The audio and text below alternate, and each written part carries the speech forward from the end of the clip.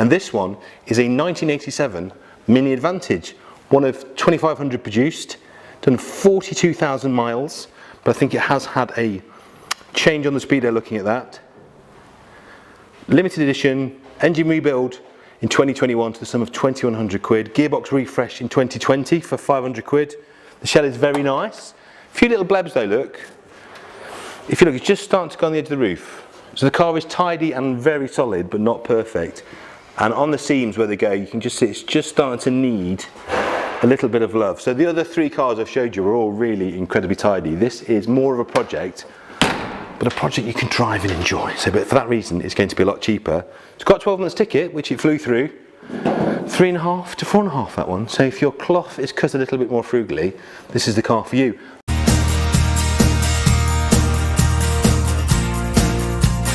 And I'm that person that's bought him. And welcome back to the channel. So I've had them now for what did that video say? July. So almost a year now.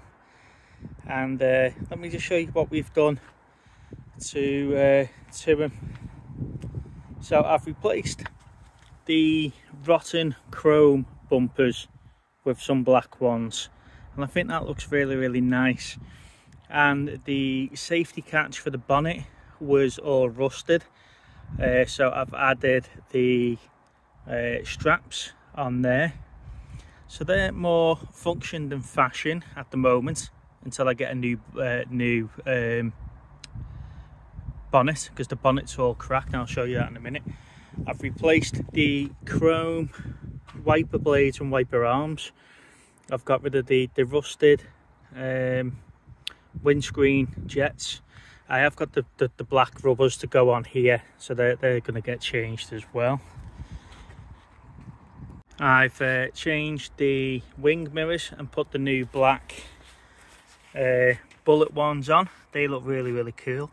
It's nice to actually be able to see out the wing mirrors for a change because the chrome ones that I had on it were all floppy and bouncing around everywhere.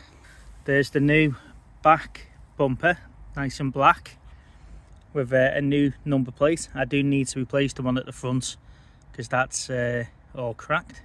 On the boot, I've added this uh, boot liner. Now, I do need to put more of these studs on.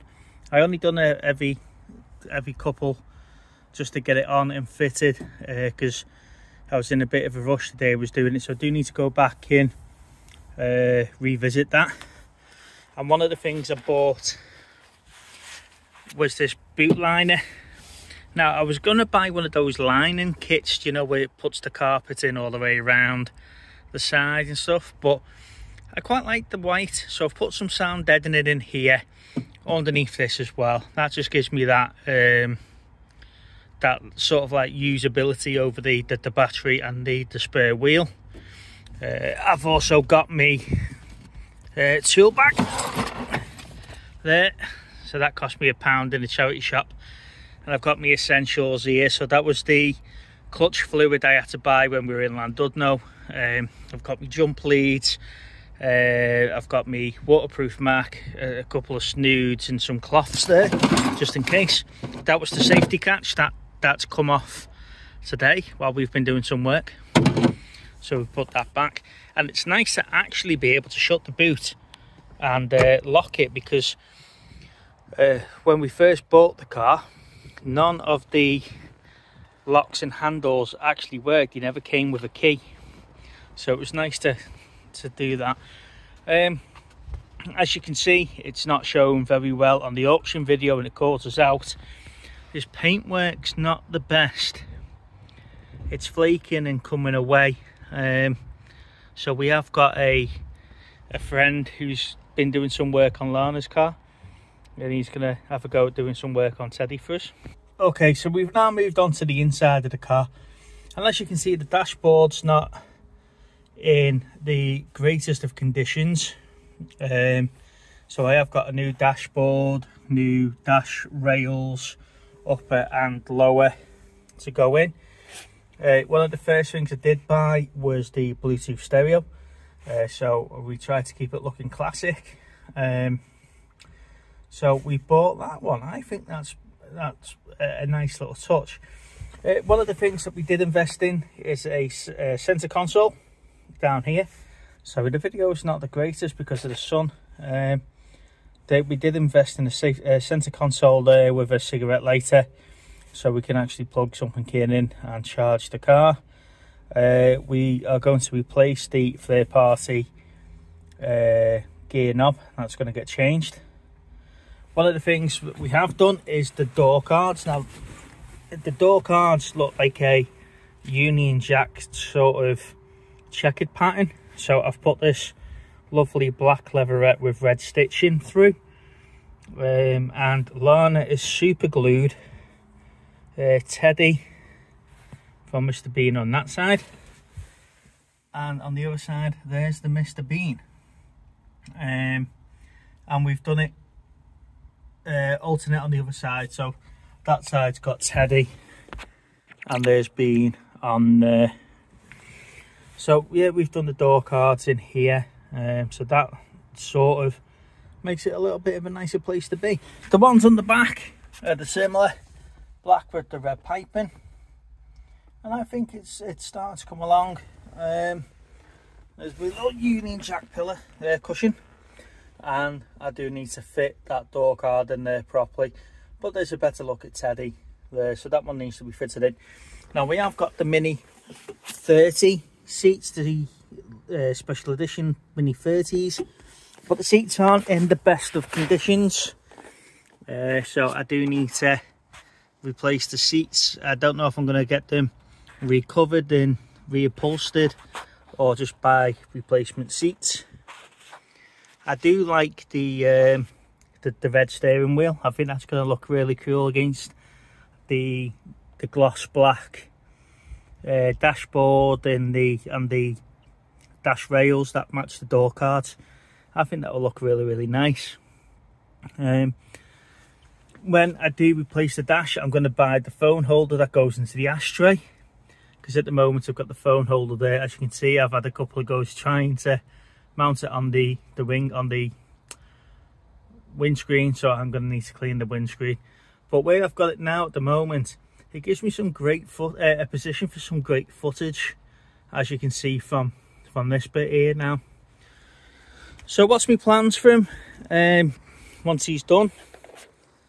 Uh, just really enjoy him really. That's the plan. Like I say once I've got the interior done uh, we've got some of this paint work started. As, as you see the roof's a little bit worse for wear. Uh, down the gullies this did have the chrome trim on here and I, I, I took that off. Because uh, like I say I'm trying to dechrome them so that was one of the first things that went.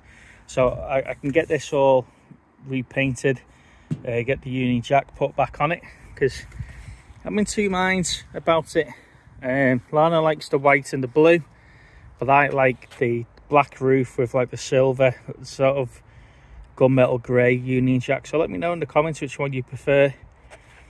But yeah, I just can't wait to get out with this lot.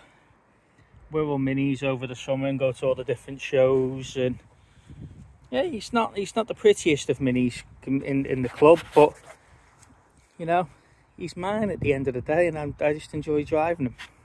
So we've talked about the cosmetic side of him now, the the interior and changing a few little bits. Now, the video says he's he was good to run. Now, that wasn't strictly true. When I got him back, he was chewing through car batteries like there was no man's like no man's land or like no trouble to him.